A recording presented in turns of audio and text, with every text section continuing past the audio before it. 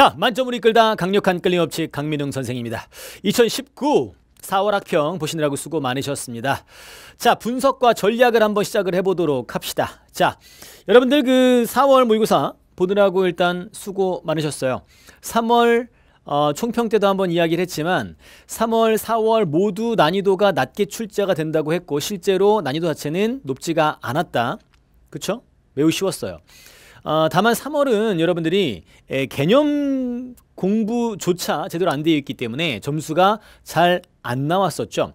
1컷이 뭐 41점 이렇게 나왔었는데 어, 4월 같은 경우는 여러분들 이제 개념이 어느 정도 완료가 돼 갑니다. 그렇죠? 예, 고3 수험생들이 에, 개념 공부가 완료가 어느 정도 되어 가기 때문에 이제 킬러 파트를 제외하고 나머지 부분들도 이제 에, 문제를 맞추게 되죠. 그러다 보니까 문제 난이도가 아, 비슷함에도 불구하고 3월이랑 4월이 난이도가 비슷하다고 했잖아.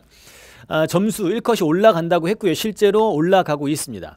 현재 지금 실시간 등급 컷 한번 실시간으로 한번 볼까요? 실시간으로 보니까 음, 1컷이 45점 정도로 나오고 있습니다. 뭐 3월 달에 비하면 지금 한 달 정도 전인데요. 난이도가 비슷하다고 했을 때 예, 어마어마한 실력 향상을 보여주고 있습니다. 예, 1컷이 4점이 올라갔어요. 야, 1컷 커트라인이 4점 올라갔다는 얘기는 학생들이 정말 많이 잘 봤다라는 겁니다. 지난 시험에 비해서.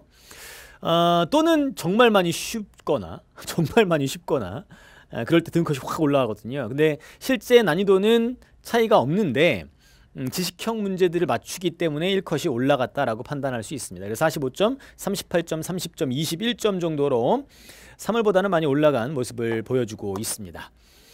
자, 여튼 어, 문제 난이도는 비슷했지만 음, 여러분들이 3월에 비해서 잘 봤다라는 거는 음, 좀 전에 얘기했듯이 바로 그런 여러분들의 학습 상황에 따라서 이런 상황이 발생한 거예요. 6평 어떻게 된다 그랬죠? 6평. 6평은 더 어렵습니다. 어려운데도 불구하고 등급 컷은 44, 45로 어, 4월과 비슷하게 나와요. 그 얘기 무슨 얘기예요? 이젠 킬러 파트까지 연습이 되어 간다. 이런 상황이죠. 그래서 누누이 얘기하지만 고3이 되어서 여러분들이 이 과탐 공부를 제대로 이제 수능을 맞춰서 어, 시작을 하지 않습니까? 그랬을 때 여러분들의 실력 향상은 어마 어마어마합니다. 예. 3월 달 성적과 6평 성적이 분석을 해보면 난이도가 어려움에도 불구하고 등급컷이 유지되거나 올라간다는 것은 학생들의 실력 향상이 매우 어, 잘 된다라는 거예요. 그래서 그 3월 달에 고3이랑 수능 직전에 고3의 과탐 실력은 대단히 큰갭 아, 차이를 보입니다. 거의 뭐 중학교 1학년과 고등학교 1학년 수준 정도의 차이가 바로 1년 사이에 벌어집니다. 그럼 여러분들이 이제 4월 달 시험을 봤잖아요. 봤으면 이제 어떻게 이제 공부를 해 나가는가? 이제 앞으로 어떻게 해야 되는가 이제 이런 것들 여러분들 그 총평이라는 거는 이거에 대한 어떤 4월 모의고사 자체만의 어떤 분석도 중요하지만 앞으로의 전략도 매우 중요하잖아 간단하게 분석과 그리고 최고 오답도 확인한 후에 전략으로 넘어가도록 합시다 자, 아, 좀 작아서 안 보이겠지만 한번 정리를 한번 해봤어요. 예, 보이긴 보입니까? 예, 뭐 잘 안 보여서 상관없어. 자, 1, 2, 3, 4 단원이 예, 똑같이 매년 출제되듯이 6545로 출제가 됐습니다. 6545 여기 이거 다섯 문항이에요. 6545로 출제가 됐고요. 어, 요거 5문항. 자, 5문항입니다.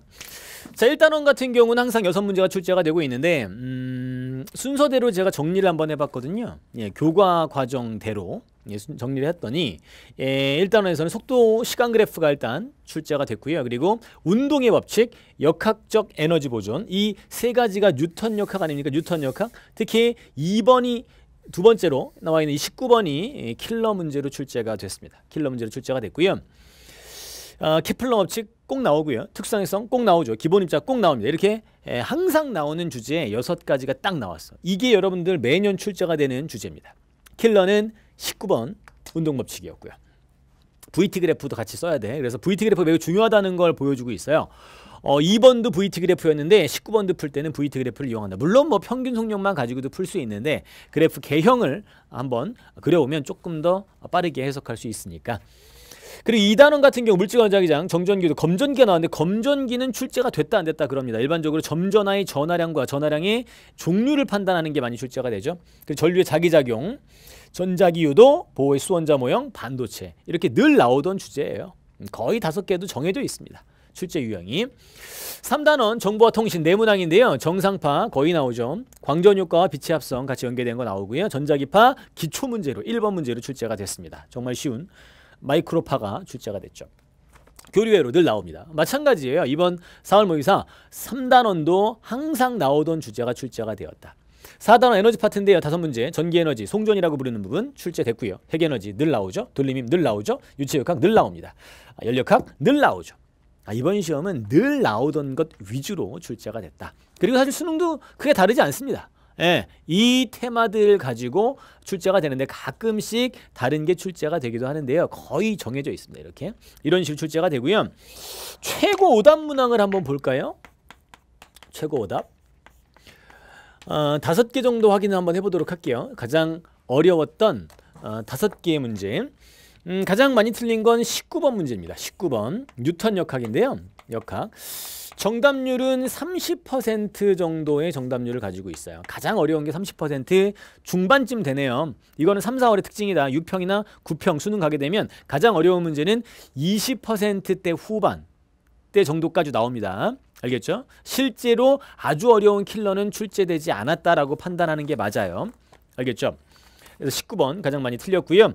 어, 정답률 35% 정도 되고요. 그리고 18번. 18번이 유체 동력학, 유체역학 파트인데요. 유체역학에서도 이제 유체 동력학으로 어, 위쪽으로 관이 예, 연결되어 있는 문제네요.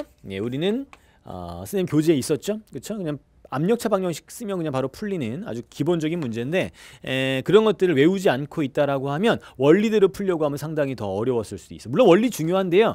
어, 원리로 풀어야 되는 문제가 있고 간단한 방정식을 기억하고 있다가 외워서 푸는 문제가 있, 있는데 이번에는 그냥 간단하게 외워서 풀 수 있는 문제가 출제가 됐습니다. 평이했죠. 예. 정답률 한40% 정도 정답률을 가지고 있었어요. 얘랑 비슷하게 이제 20번 돌림이 문제. 돌림임. 어, 20번이 가장 어렵게 출제되는 게 20번의 자리를 잡고 있는데 일반적으로는 돌림이 문제가 그렇게 어렵지 않았습니다. 이번 시험. 알겠죠? 예, 평, 평이한 수준이었어. 그런데 이제 20번 자리에 있기 때문에 좀 많이 틀렸던 것 같습니다. 얘도 어, 킬러 문제라고 하기에는 정답률이 너무 높네요. 40%. 수능으로 가게 되면요. 가장 어려운 세 문제는 30%, 40% 미만대입니다. 그러니까 20% 후반, 30% 초반 이 정도가 가장 어렵기 때문에 에, 여러분들이 지금 이 정도 수준에서 이렇게 3대 역학 문제라고 하죠. 회전 역학, 유체 역학, 뉴턴 역학, 3대 역학이라고 하는데 이 3대 역학 주제에서 이렇게 지금 재학생들이 날라갔다는 얘기예요. 음? 그 다음에 이제 특수상대성 이론 어, 특상. 그 다음이 특상의 특상. 플러스 이제 9번이 특수상대성 지식적인 건데 이 부분이 좀 여러분들이 좀 틀린 것으로 보이고요. 그 다음이 13번 13번이 또 역학입니다. 뉴턴 역학 얼만큼 뉴턴 역학을 잘 해야겠는지 알겠죠 물론 뭐 정답률로는 크게 의미는 없어요 다 40% 이상이기 때문에 그래서 가장 많이 틀린 다섯 문제는 이건데 결과적으로는 이제는 여러분들이 4월 달이 딱 됐잖아 4월 달이 딱 됐을 때 이걸 보니까 음. 3월 달에는 지식 문제들도 다 틀려나갔는데 4월 달엔 이제 그건 아니야. 지식 문제는 이제 안 틀렸고 어떤 거? 진짜 우리가 킬러라고 생각했던 바로 그 문제들이 출제가 됐습니다. 알겠죠? 예, 개념 학습이 슬슬 완료가 됐다는 얘기죠. 그럼 이제 대책은 하나야.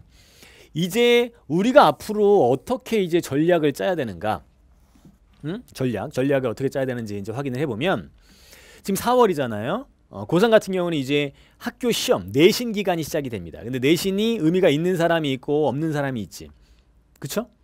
음, 없는 사람들 축하드립니다. 수능 준비를 할 수 있는 좋은 기회예요. 여러분들이 의미가 없는 사람들은 학교 시험 기간에는 일찍 일찍 끝나잖아. 그때 여러분들 PC방 갑니까? 예, 그러시면 안 되고요. 아, 그때 여러분들이 부족한 수능 공부를 해주시면 되는 거야.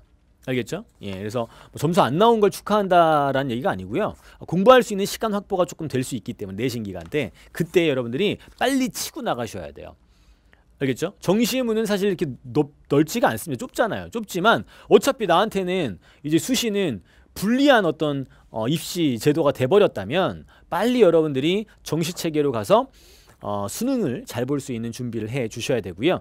어, 내신 기간인 사람들은 일단 잠깐 동안의 그 내신 준비 기간이 있겠죠. 그렇죠? 예, 그렇지만 뭐 수능을 여러분 놓을 수는 없잖아요. 그렇지 않습니까? 그렇기 때문에 앞으로 이제 어떻게 공부를 해야 되냐면 당연히 지금 이쪽 주제에서 여러분들이 지금 날아가고 있잖아요. 그렇기 때문에 에, 6월 정도까지 이제는 좀 킬러 파트 고난도 주제 연습을 좀 할 필요가 있다.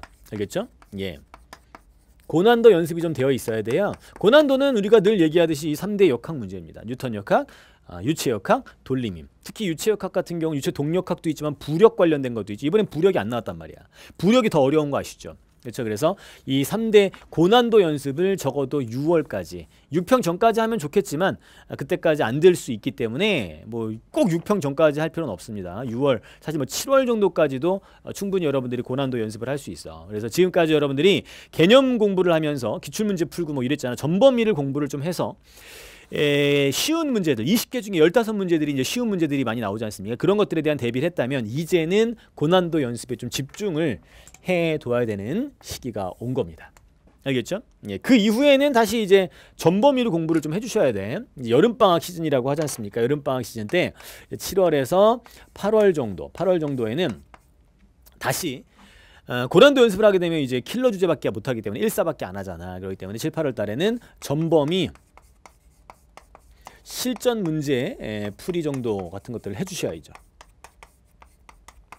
알겠죠? 예, 2, 3단원을 이제 까먹어 가기 때문에 지식형 문제들을 까먹잖아요. 까먹기 때문에 이제 그런 것들을 다시 한번 7, 8월 달에 공부를 해 주시면 되겠고 그리고 뭐 9월과 10월은 제가 말씀드리지 않아도 어, 아시겠죠? 9월과 10월 달에는 어, 지금까지 공부한 것들을 총 정리 총 정리할 수 있는 시간이 필요하다. 정리를 좀 해 주셔야 되겠고 그리고 이제 에, 실전 모의고사 실모라고 많이 부르지 않습니까? 실모 연습을 통해서 실전 대비를 해 주셔야겠죠. 이런 식으로 스케줄을 좀 잡으시면 돼요.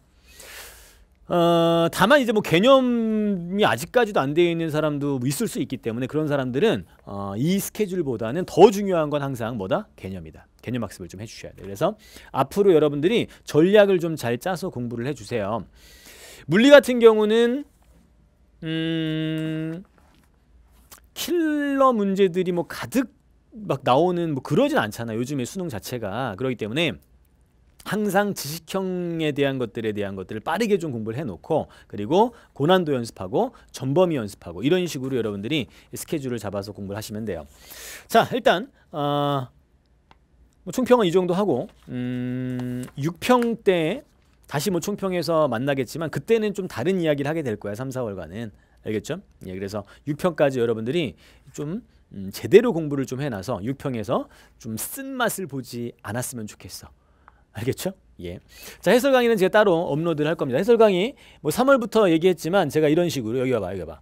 아, 이런 식으로 순서대로 책에 있는 순서대로 어, 총 복습할 수 있도록 제가 해설 강의를 올해는 계속 진행을 할 겁니다. 3월달 그렇게 진행을 했죠. 그래서 어, 전체 20문제들을 재배열을 해 문제들을 재배열해서 책 의 순서대로 책 순서대로 그대로 배열을 해서 여러분들이 해설 강의를 쭉 보게 되면 전범위 어, 복습을 할 수 있는 느낌을 좀 받을 수 있도록 그렇게 진행하고 있기 때문에 아, 단순한 해설 강의라고 생각하지 마시고 어, 총정리 강좌다. 중간중간 모의고사. 어차피 고3 같은 경우는 뭐 1년에 6번밖에 없단 말이야. 음? 3, 4, 5월 없고 6, 7, 8월 없고 9월, 10월 이렇게 6번밖에 없기 때문에 이 6번, 6번 중간중간 총정리한다라는 생각으로 제 강의를 해설 강의를 보시면 아주 많은 도움이 될 겁니다. 알겠습니까? 자, 해설 강의에서 만나도록 합시다. 고맙습니다.